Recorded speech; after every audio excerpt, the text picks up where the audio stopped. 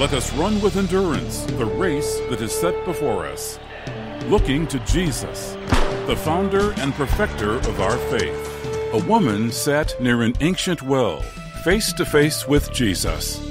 Their discussion turned from physical water to spiritual water. Her journey of life was changed forever as she learned the meaning of true worship. And that's our focus on today's broadcast. Stay with us.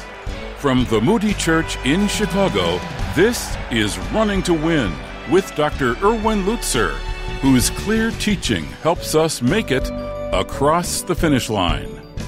Pastor Lutzer, a lot of us associate worship with the music set the praise band does before the sermon, led by the worship leader. Is this what worship is? Well, Dave, I'm going to answer your question in a moment, but your question also prompts a memory that I want to share. Many years ago, I won't tell you how many years ago, I was studying in Israel during the time when we could actually go to Jacob's well. Just imagine that well is still there. It's the well referred to in the fourth chapter of the book of John, the story that you referred to, Dave, just a moment ago about the woman at the well. Imagine this. At that place, Jesus Christ explained to this woman that he was the Messiah. Takes your breath away. But in answer to your question, worship is not necessarily just saying the right words. I believe that singing together is worship, but not if our hearts are not right with God. You remember the words of Jesus? This people honor me with their lips, but their heart is far from me. Worship is not automatic. Worship is not a matter of the lips, as Jesus emphasized, but a matter of the heart. That's why I think it's so important for us to listen to this message very carefully, because God doesn't want simply our words, He wants who we are. And worship is that privilege of giving Him everything.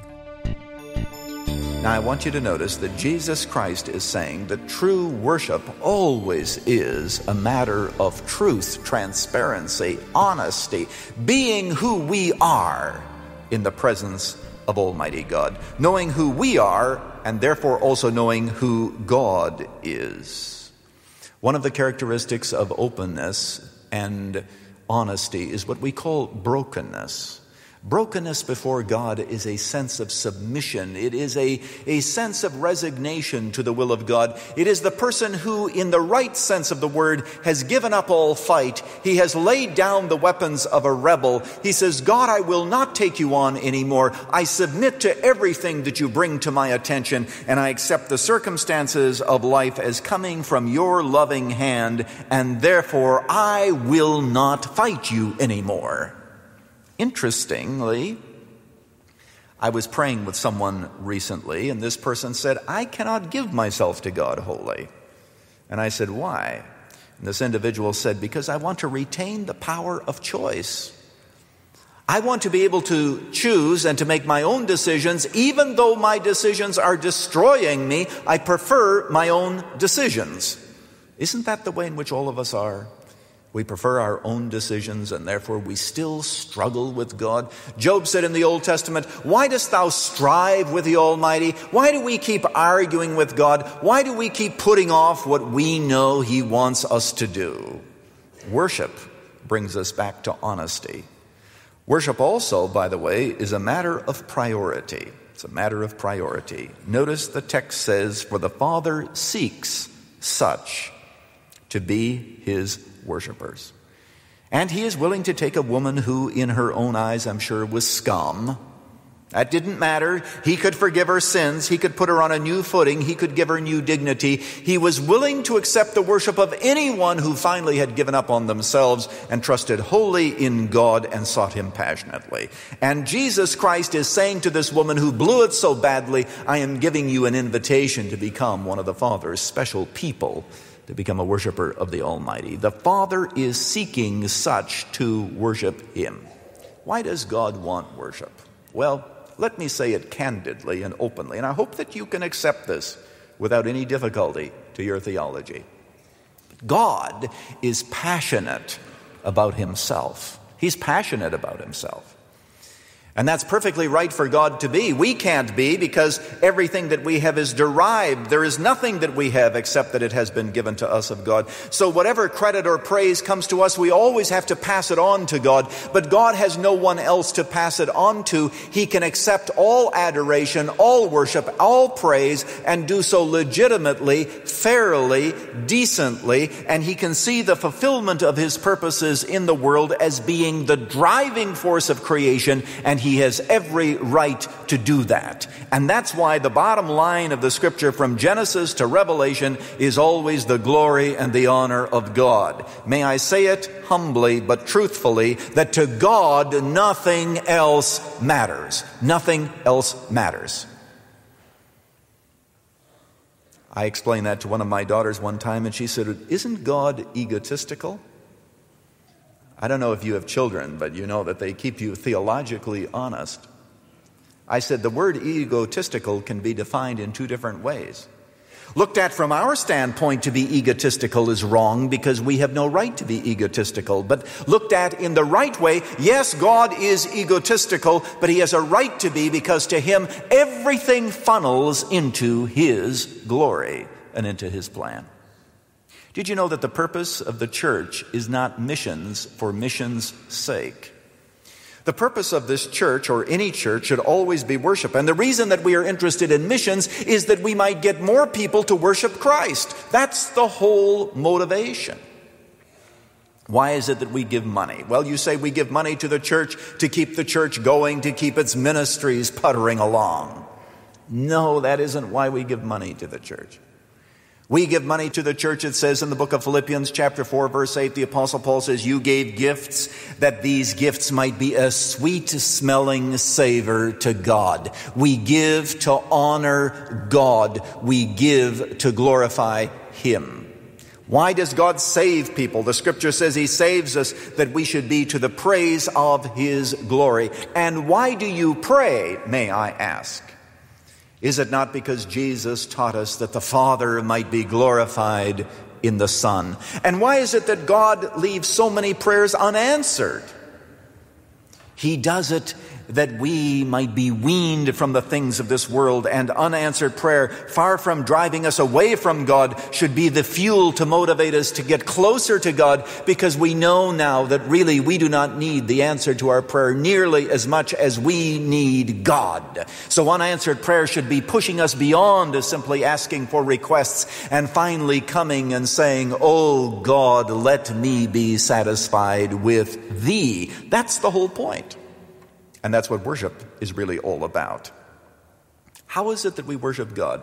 There are different aspects to worship. One is obedience. One day God came to Abraham and said, Abraham, take your son and go to Mount Moriah and offer him there as a burnt offering on a mountain that I shall tell you of. You remember when Abraham left the donkey and his servant, and he and his son went up the hill? He said, He and this lad, namely my son, will go yonder and worship and come again to you, he said to the servant. We will worship, and that worship involved incredible obedience, being willing to kill his own son if necessary. Uh, that's one way that we honor God. God is honored through our obedience. God is honored when we are willing to say yes to anything that He brings to our attention. God is honored when we praise him. The Bible is very clear whoso offereth praise glorifieth me. So when we begin to thank God and when we begin to recognize that because He is God, He is deserving of all thanksgiving, and you begin to read the Psalms, then you begin to understand that God's attributes are being praised and admired. God loves it when we admire Him. And of course, we also obey him through dependent prayer. We can also honor him through faith in Christ. Jesus said, Whoever honors me honors the Father. If you don't honor me, you don't honor the Father. And that's why the scripture tells us that we should honor the Son. Can you imagine what would happen in your life and mine if we were to have what was known as a Copernican revolution? Copernicus was an astronomer who came to the conclusion that actually it was not the sun that was going around the earth, but the earth going around the sun. The belief was that the earth was stationary. That was the ancient belief. And now the belief was that it is the sun, if anything, that is stationary. Of course, nobody knows whether it's completely stationary. Everything may be all moving together. But nevertheless, from our standpoint, it is now the sun that becomes the center of the solar system and the earth is twirling around it. Imagine what would happen if God's beloved Son would suddenly be brought from the circumference into the very center of our lives, and everything that we did would revolve around Him, and the only sincere question that we would have is, is He thereby glorified? What a transformation that would be in our lives and in our church. If the only thing that really mattered, because the only thing that really matters to God is that He be glorified. Why should you and I be fruit bearing Christians? It says that the Father might be glorified. It says, Let your light so shine upon this earth that other people may see your good works and what? Glorify your Father which is in heaven. There is no other purpose to life. Can you see how short minded it is to say to yourself that the real purpose of life is to get a good job, earn as much money as you can, and then retire in a very nice place and do whatever you want to do for the rest of your life? That is not the Christian life. The Christian life says, I am here to glorify God, whether by life or by death, whether by health or illness, whether by an easy life or a difficult life. I exist purely to glorify God. And in all that I do, including my retirement, which is something that you can indeed enjoy, but even there, the real issue is, do I glorify God? What wilt thou have me to do? There is no other question. Now, why is it that we don't live that way? Why is it that God is oftentimes not the center of our lives? It's because the scripture tells us that we have spoiled our appetite on the world. And the more we are in the world, the more our appetite gets spoiled for really finding fulfillment in God and worshiping Him. And I'll tell you, there's nothing like the world to just drain away all your passion for God. You can watch television and when you turn on the television, as I did last night, for a few moments, trying to catch some specials regarding the past year, but beginning to see all that is involved on that TV screen, I was reminded again that watching television takes the passion and the love that you have for God, and it can just quickly sap it all away and drain it away. And that's actually what the devil wants to do is he wants to separate us from our Father. That's his goal. And so the more we feast on the things of this world, it spoils our appetite for God. My people have committed two evils, said Jeremiah. They have hewn for themselves cisterns, broken cisterns, which can hold no water, and they are drinking from polluted fountains that taste good, and they are bypassing the living stream. Here's what I'd like you to do this coming week. You say, What is there that I may do? I'd like you to spend 10 minutes at least in worshiping God. Not only the coming week, but the coming year. Can you take out 10 minutes and just say, These 10 minutes are for God totally undistracted? Is God worth that much? I hope that He is worth a whole lot more than that, but this is perhaps something that will be new for many of you. Number one, spend some of that time in searching. What do I mean? Oh Lord, search my heart. That's what you do. You pray the prayer of the psalmist. Oh Lord, search me and see if there be any wicked way in me and lead me in the way everlasting. One of the greatest things that I have learned is silence before God. God reveals to me the things that I need to deal with. He begins to show me through His Word the areas of my life that are not under His control and authority. And I look back upon my prayer life and I wonder how in the world I ever did without it. Silence or searching part of that time needs to be spent in that absolute quietness before God, saying, Here I am, Lord. What is it that you want to show me? You may be quoting a verse of Scripture or uh, perhaps meditating on a text, but your heart is open to God. First of all, searching, then surrendering, and that's going to be the difficult part because you and I fight tooth and nail on this point of submitting to God. And then what you want is singing or a psalm. One of the best ways that you can worship God is to take a hymn, take the words of a hymn, and even if you're not very good at singing, aren't you glad that God doesn't care as long as it's done in a closet somewhere where no one else has to listen? But He sees it and He knows it, and He knows your heart, and you sing to God a hymn of praise or you read a psalm of praise to God. God loves to hear His word read back to Him. He says, I have magnified my word even above my name. And therefore, as we read God's word back to Him, we are giving Him praise and we are giving Him honor. Will you remember that? Searching, surrendering, singing, or psalms, one of those two, at least 10 minutes in which you are not asking. That's the thing. We are going to get to the subject of prayer. But as you notice, we're talking about the disciplines of the spiritual life. Why do I say disciplines? It's because worship just doesn't happen. People think, well, it's going to happen. It doesn't happen unless you plan that it's going to happen. And so it happens by a sense of searching, surrendering, singing, and giving praise and honor and glory to God without any requests. But Lord, I am here to magnify you, to give you glory and to give you honor. And where does the whole business of worship begin? In the Old Testament, it says, Kiss the Son, lest he be angry, and ye perish in the way, lest his wrath be quickly kindled. What does it mean to kiss the Son? It means do homage. I mentioned a moment ago that the way in which we worship God is by honoring the Son. In order to honor the Father, Christ said, you must begin by honoring me. Some of you need to believe in Jesus Christ even today. You've never savingly come to faith in Him. I urge you to do that because only Christ can bring you to God the Father so that you can become a worshiper. Today, Jesus Christ says that the Father seeks those who worship Him in spirit and in truth. He's searching, He's on a hunt. Will He find you and will He find me? That is the question. Let us pray together. Our Father, we do want to thank you today for this wonderful story. The reminder of the fact that you said to a distraught woman, Be my worshiper. You can have eternal life within your soul. And Father, we thank you for her witness, how she went and told her friends that she had met the Messiah. And therefore, there were more worshippers because your word says that many believed because of her word and because of Christ who went there to that village.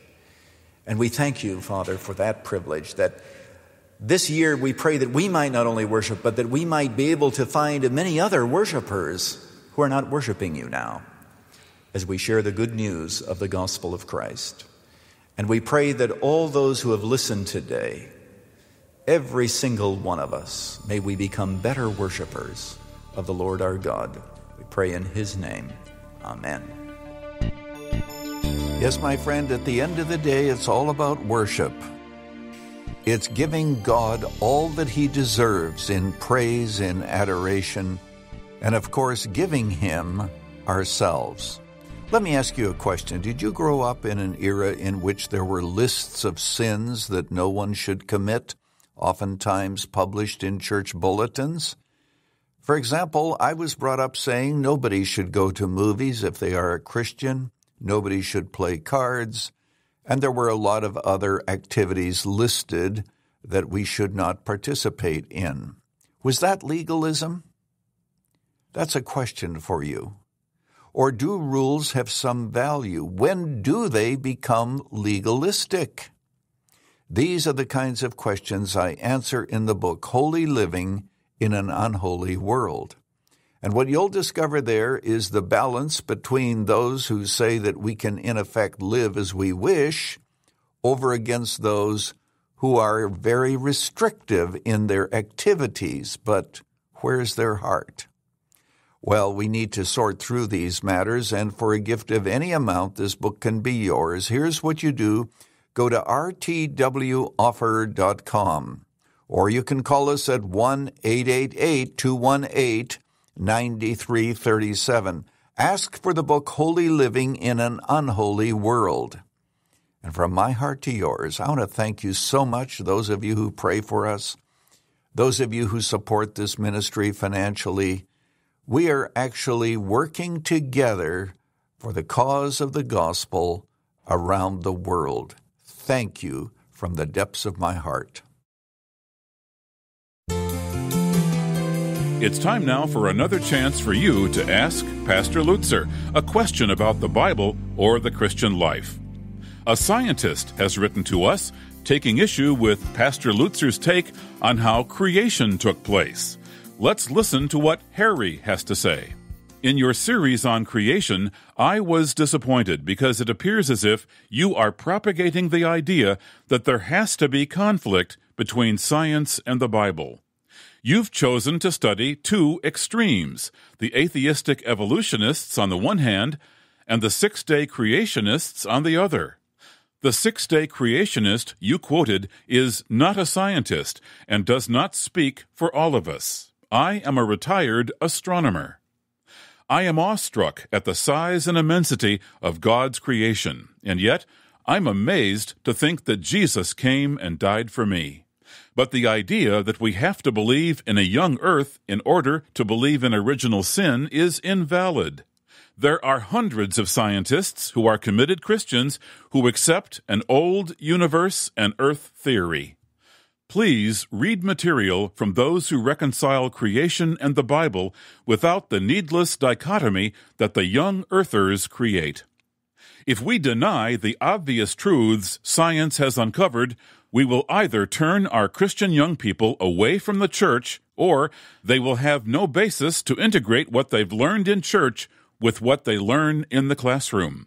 Pastor Lutzer, any comments? Harry, thanks so much for your question. That came to me actually by means of a letter. First of all, let me say that I most assuredly am not a scientist. But when I read Genesis chapter 1, it does appear to me as if as if we're talking about 24 hour days, and that seems to be confirmed because the Bible talks about the Sabbath day. God rested on the seventh day, and so he says, in the very same way, Israel should have a Sabbath, and we know that that's 24 hours. But having said that, I do have to agree that there are many fine Christians who believe in an old earth who believe that uh, the universe is very, very old. They do not accept the 24 hour day creation theory. And what I've decided to do is to simply stand aside, listen to both sides, and to say that perhaps I'm not qualified to ultimately make up my mind. Would be great if we could talk together because there are many questions I'd like to ask you, particularly how you continue to believe in original sin, where you put Adam and Eve. All those questions I believe to be incredibly important. But at the end of the day, we as Christians need to be able to get along together, even though we have different views. Thanks so much for your letter. I hope that you continue to study. I know that astronomy is a very, very interesting science. And I hope that the wisdom that God has given you through the years that you have taught it would be a blessing to others. Meanwhile, we'll continue to trust in God, His creation, and Jesus Christ who redeems us from our sins. God bless you. Thank you, Dr. Lutzer. If you'd like to hear your question answered, go to our website at rtwoffer.com and click on Ask Pastor Lutzer or call us at 1 888 218 9337. That's 1 888 218 9337. You can write to us at Running to Win, 1635 North LaSalle Boulevard, Chicago, Illinois 60614. Mention meditation to some people and they envision an Eastern mystic sitting in a lotus position. But real meditation is far different. Next time, we explore the second of Pastor Lutzer's disciplines that grow godliness and hear what God had to say to Joshua about meditation. This is Dave McAllister. Running to Win is sponsored by the Moody Church.